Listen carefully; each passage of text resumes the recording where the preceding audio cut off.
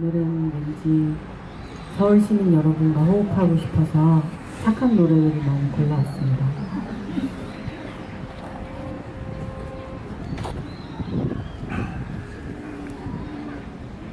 그러다 레파토리가 끝날 때까지 일단 착하게 온화한 노래를 하는 뮤지션이라는 식으로 공연을 이끌어갈까 하고 있습니다. 다음 곡은 아 저기 인지니어 선생님 저 보컬을 진짜 조금만 높여주실 수 있을까요? 네. 아아 아아아아아아 네. 다음 곡 론 들려드리겠습니다.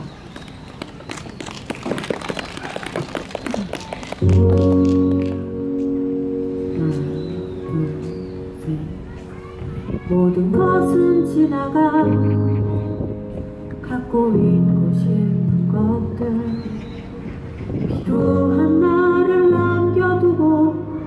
모두 지나가네. 아주 가끔 세상이 명료하게 보일 때가 있지. 필요한 나의 눈에도 아주 잠시뿐인 눈을 뜨고